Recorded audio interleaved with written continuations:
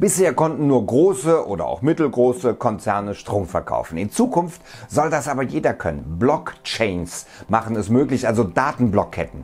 Ihr könnt euch das vorstellen wie eine Art digitales Register, das alle Transaktionen aufzeichnet. Es hat viele Vorteile, beispielsweise ist es für alle Teilnehmer transparent, jeder kann reingucken. Mithilfe von Blockchains können also auch Privatkunden Strom ihrer Solarzellen oder aus den Batterien ihrer Elektroautos verkaufen, wenn es sich lohnt wie bald vielleicht jeder mit Strom handeln kann. Jetzt in Klicks um Science and Fiction. Herzlich willkommen und zum Schluss gibt es noch eine kleine Überraschung. Blockchains kann man quasi als eine Art technische Handelsplattform bezeichnen, die die Teilnehmer von Transaktionen unabhängiger macht. Für viele verschiedene Projekte des Nachbarschaftshandels sind dezentrale Blockchains von enormer Bedeutung. Zum Beispiel in der Ökostromszene. Normalerweise wird der Preis für Strom unter anderem durch die Gesetzgebung, Netzbetreiber und Energieversorger bestimmt. Doch Blockchains machen es auf diesem Feld jetzt möglich, dass Verbraucherinnen und Verbraucher selbst mitmischen. Wer also eine Photovoltaikanlage auf seinem Hausdach hat oder diejenigen, die eine Ladesäule in der Garage haben, können mit Hilfe von Blockchains ihre produzierten Kilowattstunden in Kapital umwandeln, indem sie ihren Strom verkaufen.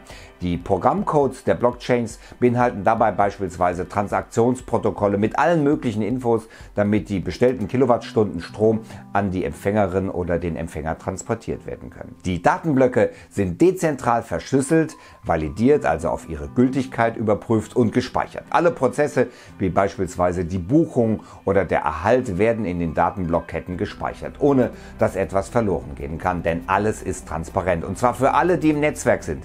Ein größeres Projekt, das beweist, dass das technisch funktioniert, läuft in Brooklyn. Hier teilen Besitzerinnen und Besitzer von Solarstromanlagen ihren Strom mit anderen. Auch in Deutschland ist das Konzept bereits in die Praxis umgesetzt worden. Die RWE-Tochter Energy ist an der Idee beteiligt, dass Besitzerinnen und Besitzer von Elektroautos ihre Ladebox zu Hause teilen können, damit auch andere Strom tanken können. Dazu meldet man sich mit einer App an durch Smart Contracts, also auf Deutsch smarte Verträge, die in Programmcode vorliegen, werden die Ladeboxen freigegeben. In diesem Netzwerk sind mittlerweile rund 1200 öffentliche und private Ladestationen angemeldet und es funktioniert. Ungewiss ist allerdings, ob das technisch so klappt, wenn es immer mehr Elektroautos geben sollte, denn das bedeutet mehr Datendurchsatz, denn dann soll das sogenannte Sharding, ein Wortkonstrukt aus Charging, Laden und Sharing teilen, zum Einsatz kommen. Dabei werden die Blöcke nicht mehr im gesamten Netzwerk, sondern in voneinander getrennten Bruchstücken validiert, also auf ihre Echtheit gecheckt. Auch wenn dieses Konzept große Vorteile mit sich bringt, gibt es auch einen schwerwiegenden Nachteil.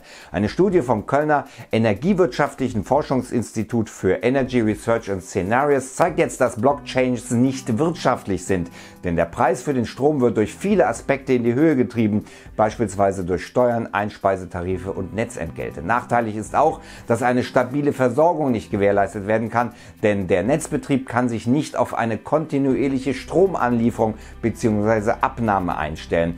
Die Netzbetreiber wissen somit nicht, wie hoch das Angebot und der Bedarf sind.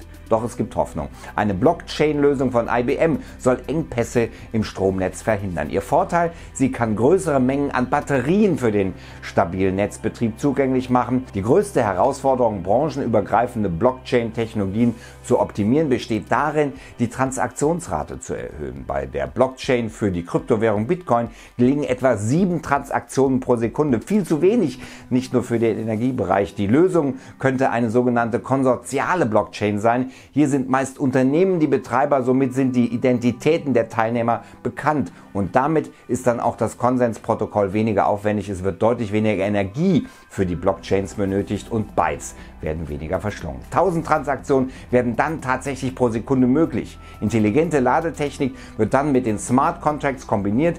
Die Batterien nehmen also Strom auf, wenn es zu viel davon gibt. Andersherum können sie ihn auch wieder einspeisen, wenn die Nachfrage steigt und das Angebot zu klein ist. Auch das Hamburger Softwarehaus Poton baut auf eine ähnliche Idee. Enerchain basiert auf Tendermint, eine viel leistungsfähige Blockchain.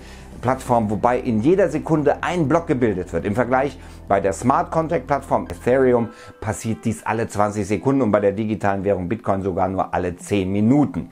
Ein Block fasst mehrere Transaktionen, sodass bei optimalen Bedingungen bis zu 10.000 Transaktionen enthalten sein können. Ende des Jahres wollen Unternehmen wie RWE und Total den Energiehandel auf Enerchain betreiben. Noch kann man kaum abschätzen, wie sich diese ganzen Blockchain-Varianten zukünftig gegen zentrale Digitalisierungstechniken behaupten werden. Experten und Expertinnen sagen eine Zwischenlösung voraus, die zentrale und dezentrale Techniken kombiniert. Ebenso genauso wie sich wohl auch die Stromwirtschaft in Zukunft aus vielen kleinen und großen Erzeugungseinheiten zusammensetzen wird. Auf jeden Fall steht eine Revolution des Energiemarktes bevor. In Zusammenarbeit mit der Redaktion von Technology Review ist dieses Video entstanden und speziell für Klicksum Zuschauer habe ich jetzt ein Geschenk. Ihr bekommt nämlich eine Ausgabe gratis, wenn ihr auf diesen Link klickt. Den könnt ihr auch gerne weitergeben. Technology Review ist der absolute Hammer. Und äh, ja, hier geht es zu einem weiteren Video, das wir mit dieser tollen Redaktion zusammen gemacht haben. Der Verkehr der Zukunft. Vorbild China. Klickt drauf, wenn es euch interessiert und ansonsten bis dann. Bleibt dran.